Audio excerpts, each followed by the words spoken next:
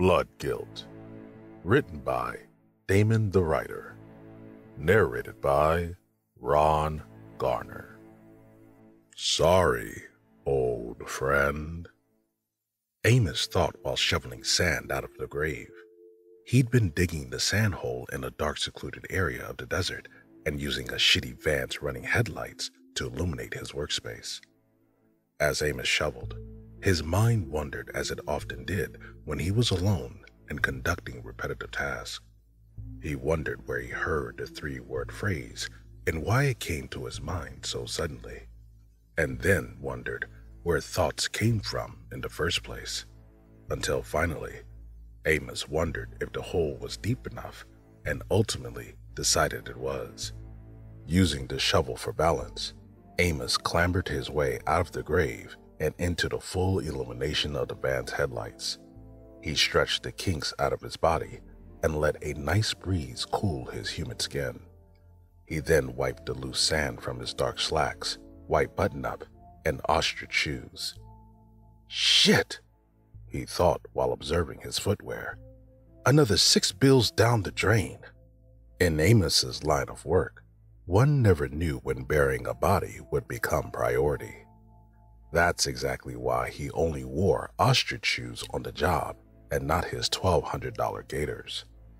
All right, he thought with a surge of finality. Time to get back to it. As Amos motioned to the rumbling van, the three words echoed his mind again. Sorry, old friend. But this time, the words came with a weight that slowed Amos to a reflective halt. Ever since he joined Gomez's crew, the old timers have been warning him about the eventual toll the job took on everyone. Yeah, the pay was good, they'd say, but after a while, all the things they'd see and do would inevitably wreak havoc on the psyche. Some suffered night terrors and or extreme paranoia, and if that was all one contended with, they were considered lucky, because most of the time the occupation would induce breakdowns or even suicide. With another surge of finality, Amos decided he was tired of thinking. He retrieved the Beretta from the small of his back and looked toward the piece of shit van. Although Amos couldn't seem to remember what was in the vehicle, nor could he recall how he got to the secluded area in the first place.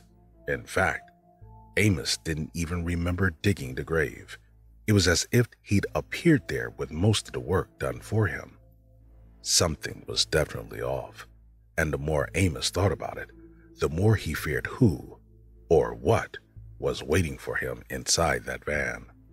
His fears of the unknown became so strong, they devolved Amos's logic to a place where aiming a pistol to his temple seemed more feasible than checking the contents of a van.